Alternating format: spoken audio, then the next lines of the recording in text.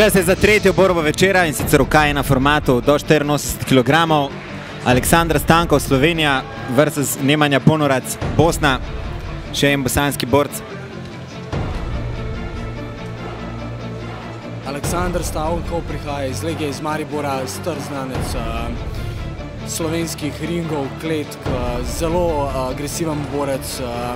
Rad ima tako imenovan brol, se razbija, tako da mislim, da bomo videli borbo polno udarcev, močnih udarcev. Takoj lahko vidimo, da je tukaj malo bolj izenačena nivo borcev. Nemanja res gleda spreman, prihaja s čistimi, zaprtimi, močnimi udarci. Že s kolenom.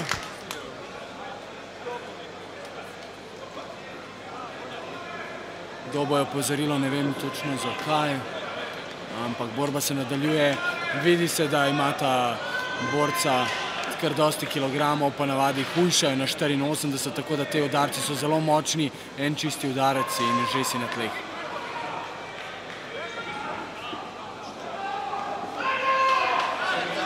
Bombe so vsekakor prisotne, zdaj sicer malce zatiša, ampak v suverene kombinacije bosanskega borca. Drugi opomin in odzem točke. Očitno gre za to, da ne sme klinčati z dvema rokama, morda mu ni popolno jasno tudi, kar se tiče tega pravila. Sedaj ve, da je v točkovni, točkovnem zaostanku, tako da bo probal borbo zaključiti predčasno.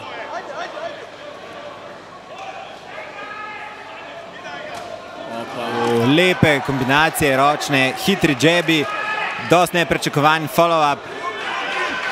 Dobra, dobra borba za enkrat bosanskega borca, nekaj reči, treba je dati respekt. Ampak seveda tudi naš borec se odziva, zdaj on prihaja naprej. Kolikor poznam Stankova, nekako začne uh, se boriti še, ko, ko dobi par močnih udarcev, se nekako zaveda, gremo naprej in mislim, da bomo tudi tokrat to videli. Točno to se je očitno tudi zgodil, malo ga je stresel, zdaj je močno aktiviral. Borba dejansko se razvija do polnega. In gremo, klasični brawl. Bam.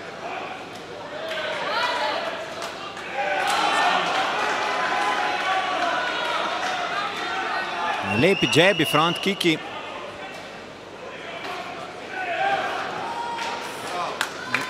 Lep udarec. Mislim, da je šlo samo za zdrs. Da vidimo, če bojo štev za... Aha, štev le za zdrs.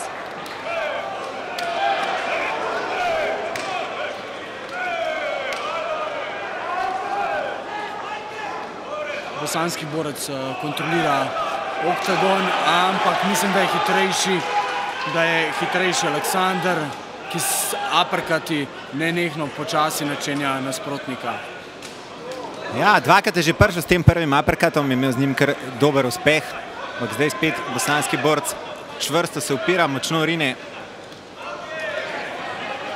V par močnih low kickov je padal, to lahko spremeni potek borbe. In runda, dosti izenačena borba.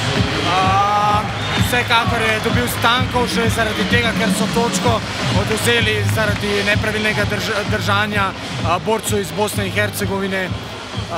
Mislim, da Stankov, kolikor vidim, ni nekaj zadovoljen z rundo, v drugi pa mislim, da bo začel drugače. Kolikor ga poznam, je šele zdaj se ogrel in bo začel. Ja, zaradi odvzete točke je vsekakor Aleksandrova runda. Pokazal je tudi par močnih aprkatov, s katerimi je povedal kombinacijo. Mislim, da mu je to kar dobro se izšlo in dobro bi bilo, da proba še kakšne 3-4 plasirati. Z druge strani pa res čvrt borc, ki vidiš, da ima veliko, veliko powerja v obeh rokah.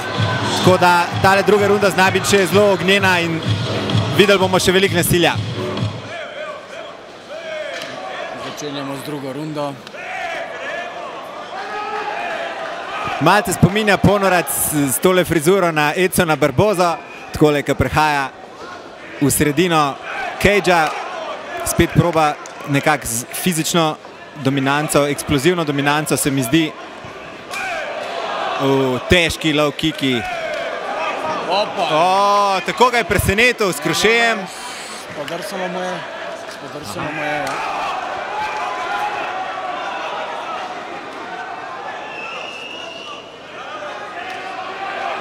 Uppercut. Noge obeh borcev so že kar precej načete, oba sta lendala kar lepo število močnih, močnih low kickov. Ja, zelo noge so že rdeče.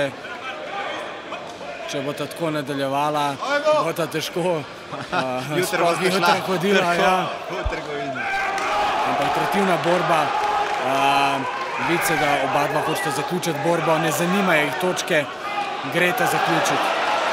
To je ponovno vrhunska borba, že tretja borba zapored, res razburljiva. Borci se borijo za akcijo. Močni, močni udarci.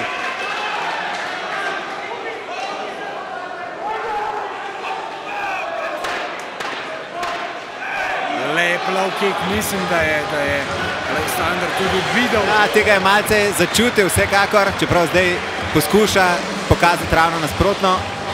Ampak zdi se, da malce fizično že omaguje. Uh, tam ga je skršil s kolenom. Močno koleno, nad čem se pritožuje. In ne vem, če bo lahko nadaljeval. Ne, mislim, da ne. Da je tudi tretja borba končana v drugi rundi. Minuta do konca, to je nekaj neverjetnega. Vrhunski nokaut iz slovenskih borcev, tokrat s preciznim kolenom, naravnost v brado ga je. Vidi se spoštovanje vseh borcev. A, borci se zelo spoštujejo med sabo. Ne gre namreč samo za neko pretepanje, a, gre, a, je veliko več od tega. So treningi, odrekanje, sam adrenalin v borbi, a, po borbi so pa vsi prijatelji, tako da čestitke obema za izkazano spoštovanje.